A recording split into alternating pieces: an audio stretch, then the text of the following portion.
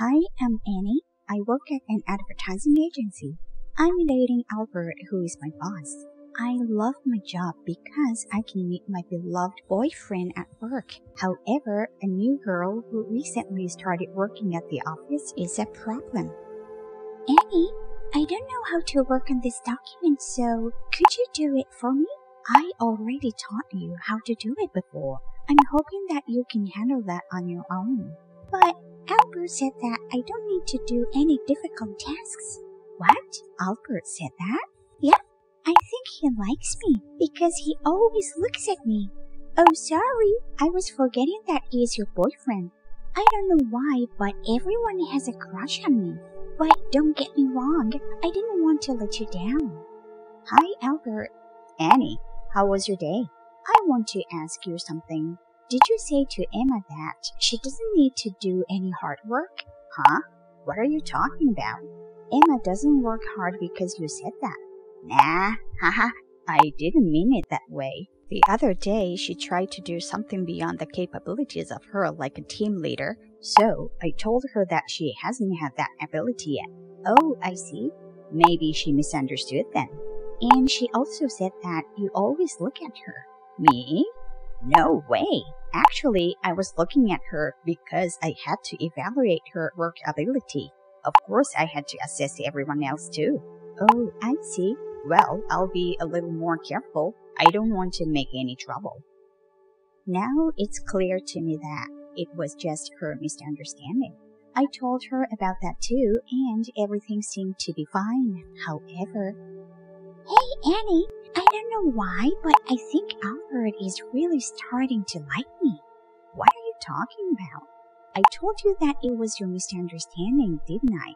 But it's obvious that he has a crush on me. Every time we talk, he focuses on my lips. And then he walks away quickly. I bet he's wanting to kiss me. Okay, that's enough. For now, I want you to stop thinking about Albert and just focus on your work. I didn't believe what Emma said, but I asked Albert just in case. Hey, Emma was talking about you again. What did she say this time? She told me that you always look at her lips and walk away after that. half right, but half wrong. Since you were out all day, you didn't see her at the office today, right? She looked so weird with a strange lipstick color today. It didn't look good on her at all. So I was wondering why she put that on. I was about to start laughing, so that's why I walked away quickly. Oh, that's funny. And it was not only me. Everyone else was looking at her too. they talked a lot about it today. Then it was Emma's overthinking again, wasn't it? Yes, so don't worry too much. A few days later, our client is coming to the office today, so be ready for that. Okay, yes. Oh, look, Annie, he's staring at me. Huh? Wow, yes, he's staring at you. Oh my goodness, you should learn something from me, Annie. Otherwise, you're going to spend the rest of your life miserably. Well, isn't he staring at you too much? Oh my god, he's walking up to us. So, are you Emma? What are you doing here? Of course I'm working. Good to hear that. Did you hear that? He came up to me for just saying that.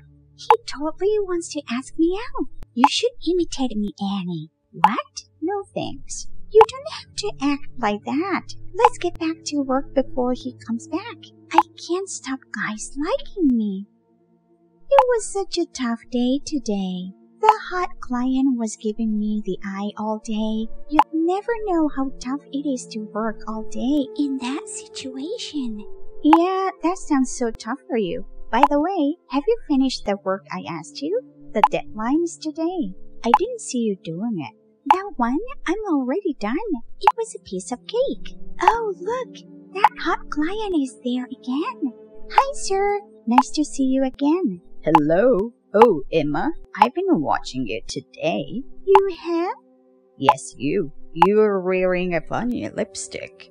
And not just the lipstick, but also your whole makeup doesn't match you. And plus, your fashion doesn't look decent for your organizational culture. You should be more aware of the work environment. Have you noticed that Annie has been in trouble with you? Me? Emma, you may think you work hard, but actually not. Maybe you're thinking that I have a crush on you, but I'm sorry, I'm married. I'm not interested in any ladies who are all about themselves. Well, I think I have enough from this visit today. See you later. Um, are you alright, Emma? No, I'm not fine. That was rude. I'm so embarrassed. To tell the truth, I think what he said was too much, but I also felt better since he said everything about Emma instead of us.